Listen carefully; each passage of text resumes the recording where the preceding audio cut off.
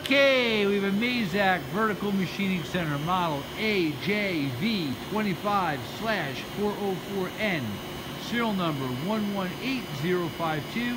It is new in 1995. It has 39.4 inch X, 20 inch Y, 18 inch Z. It has a 21.65 table by 48.8 and it is a gantry style machine. We're going to run it for you. Spindle's Six- running at 500. Oh, right now the spindle is running at 500 RPM. Going up. Nice and quiet. What's the RPM That's 2,000 right here. 2000 RPM. It goes up to 6.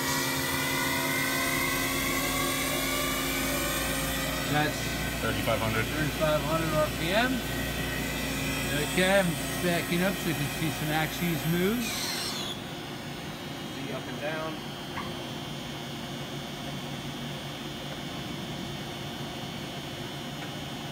You have between the uprights columns 25.59.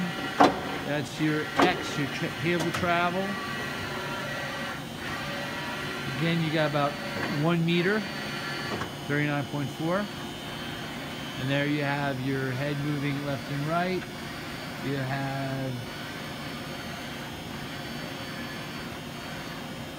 20 inches of Z.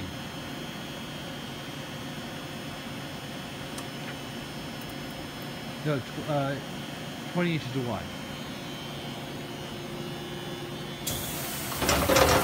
Doing a tool change.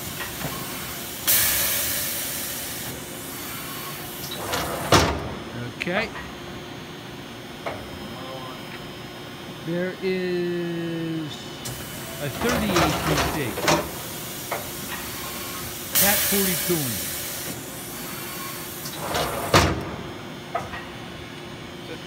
Okay, that's it. Machine also has uh, cooling through. 3018C, Cat 40, Mazatrol M32 control. 20 horsepower. Original paint. Thank you for watching the video.